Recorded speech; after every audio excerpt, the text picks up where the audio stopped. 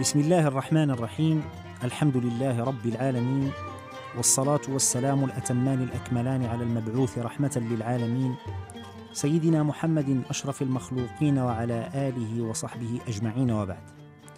أيها الإخوة المستمعون أيتها الأخوات المستمعات سلام من الله عليكم ورحمته تعالى وبركاته وأسعد الله أوقاتكم بكل خير. نتناول في هذه الحلقة إن شاء الله تعالى بالشرح والبيان حديثا آخر من أحاديث كتاب الشهاب وهو قوله صلى الله عليه وسلم المجالس بالأمانة. هذا الحديث أخرجه القضاعي في مسند الشهاب عن علي بن أبي طالب رضي الله عنه ورواه أيضا عن علي الخطيب البغدادي في تاريخه والخرائط في مكارم الأخلاق والديلمي في الفردوس وغيرهم. كما أخرجه الإمام أبو داود من حديث جابر بلفظ فيه زيادة. والحديث من حيث درجته حسن مقبول بمجموع طرقه. ومعنى قوله صلى الله عليه وسلم المجالس بالأمانة أن صلاح المجالس وحسنها وشرفها إنما يحصل بأمانة الحاضرين على ما يقع فيها من قول أو فعل. فلا يشيع أحد منهم حديث جليسه. وفيه ندب منه صلى الله عليه وسلم إلى ترك إعادة ما يجري في المجالس من قول أو فعل فكأن ذلك أمانة عند من سمعه ورآه. هذا الحديث من جوامع الكلم النبوي وفي لفظه الوجيز من الفوائد الجليلة والمعاني النفيسة ما لا يخفى. وقد وقف أهل العلم عند جملة وافرة منها. من ذلك التحذير من النميمة.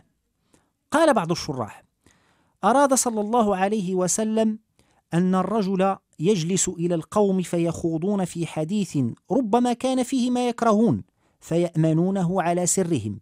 فذلك الحديث كالأمانة عنده. فمن أظهره فهو قتات أي نمام.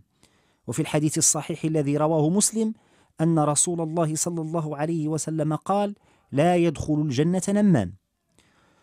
والذي أوجب للنمام هذا الوعيد الشديد ما يفضي إليه مشيه بين الناس بالنميمة ونشر حديثهم وأقوالهم بسوء قصد من الشنآن المؤدي إلى العداوة والقطيعة بين الإخوان. ومن المعاني المستفادة من الحديث أيضا أن الأمانة لا تكون فقط في الأمور المادية ولا تختص بالنقد والأموال والأمتعة والأشياء العينية التي يودعها الناس عادة عند من يطمئنون لنزاهته وأمانته. بل الأمانة كما يفهم من الحديث الشريف تشمل الأمور المعنوية كذلك. فالكلمة يسمعها الرجل من أخيه في مجلس جمعهما أمانة والسر يفضي به الرجل إلى أخيه أمانة عند السامع. وأداء هذا النوع من الأمانات يكون بصيانتها وحفظها من الإفشاء والإذاعة.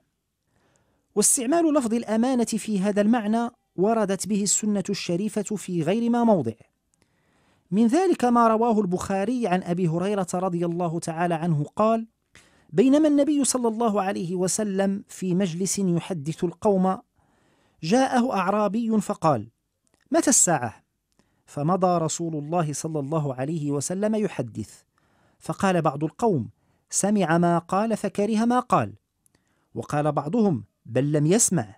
حتى إذا قضى حديثه قال صلى الله عليه وسلم أين أراه السائل عن الساعة؟ قال ها أنا يا رسول الله. قال فإذا ضيعت الأمانة فانتظر الساعة. قال كيف إضاعتها؟ قال إذا وسد الأمر إلى غير أهله فانتظر الساعة. فعلمنا رسول الله صلى الله عليه وسلم أن من صور الأمانة ومعانيها إسناد الأمور إلى أهلها. أما إلى غير أهلها فذلك إضاعة لها. وفي قوله صلى الله عليه وسلم المجالس بالأمانة دعوة إلى قول الخير ونشره في المجالس وذلك باختيار الجليس الصالح. قال أبو بكر العامري الواعظ وهو أحد شراح الشهاب وفيه أي الحديث إشارة إلى مجالسة أهل الأمانة وتجنب أهل الخيانة. وإلى هذا المعنى أيضا ذهب الحافظ محمد بن منصور السجلماسي فقال في سياق شرحه للحديث يحتمل هذا الحديث معنيين أحدهما الا يبث الرجل حديث القوم فيما بينهم الذي شاركهم فيه والثاني أن يريد بذلك الحض على بث الخير في مجالس الجماعات ألا ترى أنه جاء في الأثر أن مجلس النبي صلى الله عليه وسلم كان لا تؤبن فيه الحرم أي لا تذكر فيه النساء بقبيح ويصان مجلسه عن الرفث وما يقبح ذكره. ومن ذلك أيضا والكلام للسجل ماسي قوله صلى الله عليه وسلم في القوم المجتمعين في الخير هم القوم لا يشقى بهم جليسهم فالمجلس المبارك يحضره الأمناء الثقات الذين لا يتكلمون إلا في الخير. بل كانت العرب في الجاهلية تفخر بمجالسها التي خلت من قبيح القول وتمدحها حتى قال شاعرهم ليست مجالسنا تقر لقائل زيغ الحديث ولا نثى الفحشاء ونثى الرجل الفحشاء بمعنى أشاعها وقال آخر ولا ينطق الفحشاء من كان منهم إذا جلسوا منا ولا من سوائنا ومن بديع ما قيل في هذا المعنى قول طرفه نزع الجاهل في مجلسنا فترى المجلس فينا كالحرم. وقد نهانا الله تعالى أن نقعد في المجالس التي غلب عليها ما لا يليق. فقال سبحانه فلا تقعدوا معهم حتى يخوضوا في حديث غيره. وفي الحديث أيضا الحث على أدب المجالسة والحض على حقوق الجليس. قال في المواهب اللدنية ففي هاتين الكلمتين أي المجالس بالأمانة من الحمل على آداب العشرة وآداب الصحبة وكتم السر وحفظ الود وحسن العهد وإصلاح ذات البين والتحذير من النميمة بين الإخوان الموقعة للشنآن ما لا يكاد يخفى على مبادئ الأذهان. وحفظ السر من أعظم البر وإفشاؤه من أقبح الشر. وقد قيل صدور الأحرار قبور الأسرار. قال أبو عبد الله جعفر الصادق رضي الله عنه ليس لأحد أن يتحدث بحديث أخيه إلا أن يستأذنه إلا أن يكون فقها أو ذكرا بخير. وفي رواية له عن أبيه عن جده عن أبيه عن جده علي رضي الله عنهم قال قال رسول الله صلى الله عليه وسلم المجالس بالأمانة ولا يحل لمؤمن أن يأثر عن مؤمن أو قال عن أخيه المؤمن قبيحا وقال القاضي أبو الحسن الماوردي إظهار الرجل سر غيره أقبح من إظهار سر نفسه لأنه لا يخلو عن الخيانة والنميمة. وأنشد ابن السمعاني لشيخه الحافظ أبي القاسم بن عساكر في صاحب له خانه في سر أفضى به إليه وصاحب خان ما استودعته وأتى ما لا يليق بأرباب الديانات وأظهر السر مختالا بلا سبب وذاك والله من أوفى الجنايات. أما أتاه عن المختار في خبر أن المجالس تغشى بالأمانات. ومن الأحاديث الواردة في حفظ السر ما رواه أبو داود والترمذي عن جابر بن عبد الله رضي الله عنهما عن النبي صلى الله عليه وسلم قال إذا حدث الرجل الحديث ثم التفت فهي أمانة. أي إذا حدث الرجل عندك أو عند أحد الحديث الذي يريد إخفاءه ثم فارق المجلس فحديثه هذا حكمه حكم الأمانة فلا يجوز إضاعتها بإشاعته.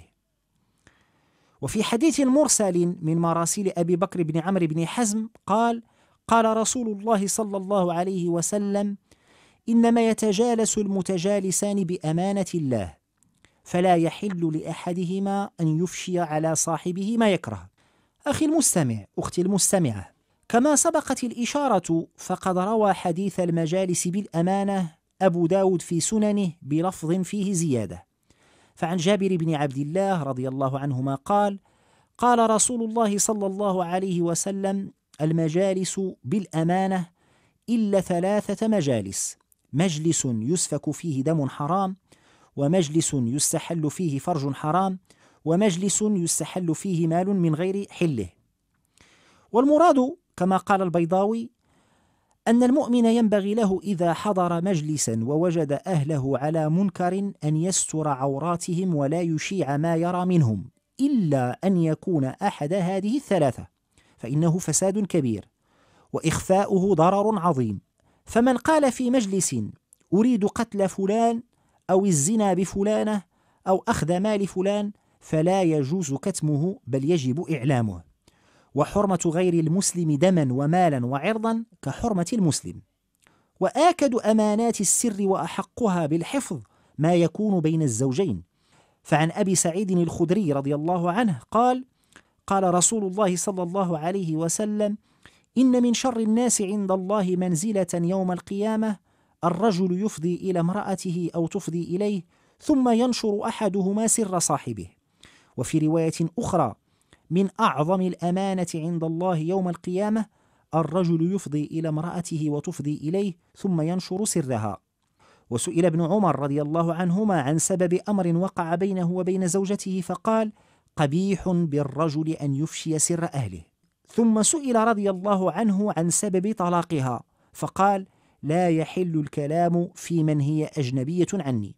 مستمعي الأعزاء لقد وعى أكابر أمتنا من أهل العلم والصلاح حديثه صلى الله عليه وسلم المجالس بالأمانة وعملوا بمقتضاه.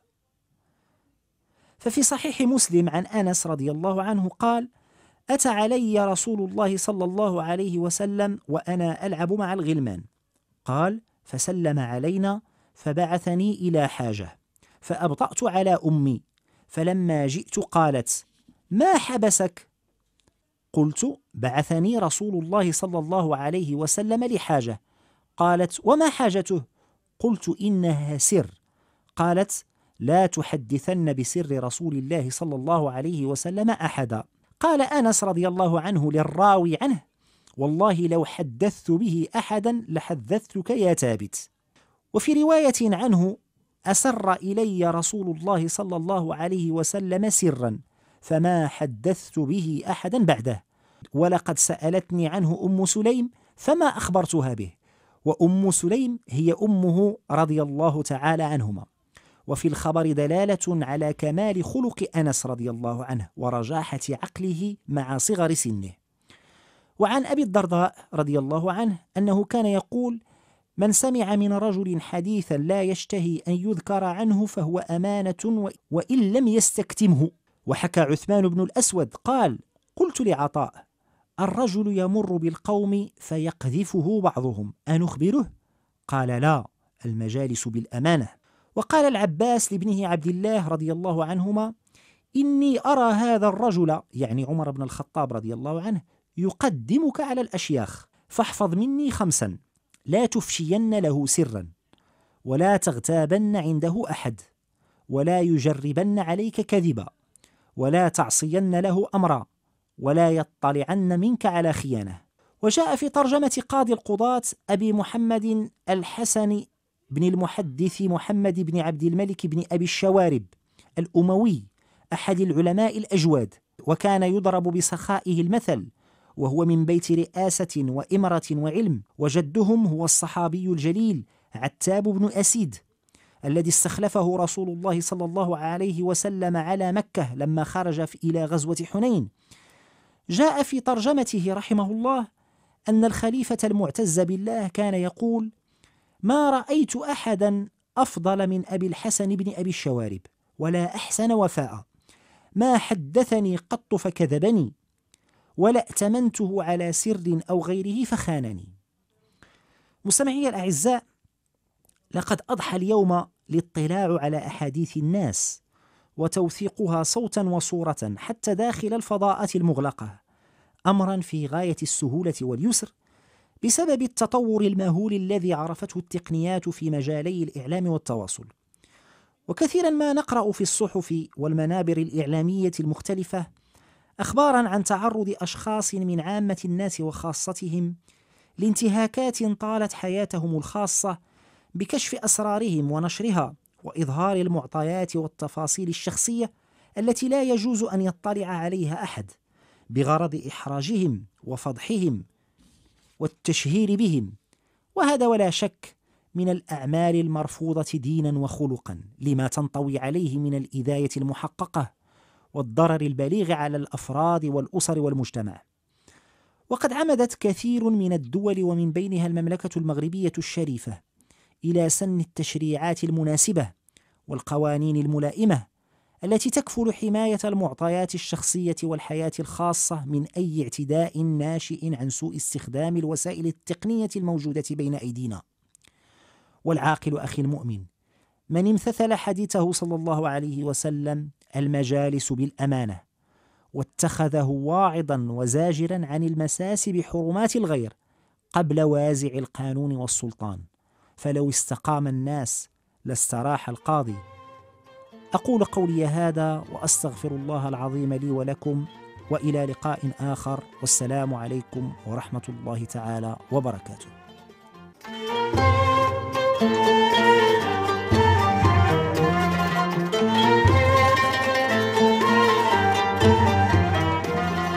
لباب الشهاب شرح وبيان لأحاديث كتاب الشهاب في الحكم والمواعظ والآداب للقاضي أبي عبد الله القضاعي.